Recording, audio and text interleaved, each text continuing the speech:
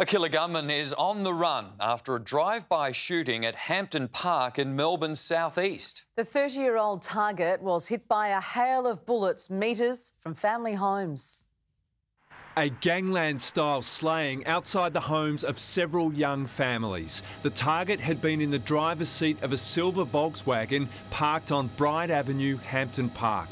The 30 year old man from Cranbourne was killed in a drive by shooting not long after midnight. It was really loud. It, actually, I thought, like, okay, maybe it's gunshots, but I was confused normally on weekend, there's something going on, always going on here. It was like scary. It was scary loud.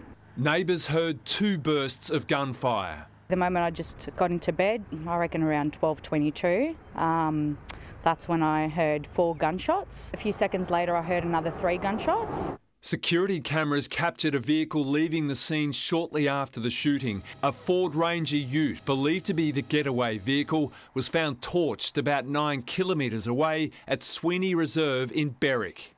Several neighbours heard the two bursts of bullets. Some stayed inside because they believed they could be fireworks, but others stayed in due to fear.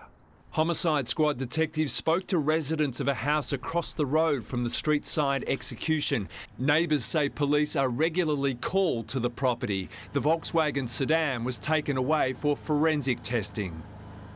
And Cameron Bowe is live from police headquarters. Hello, Cam. Police are still on the hunt for those involved.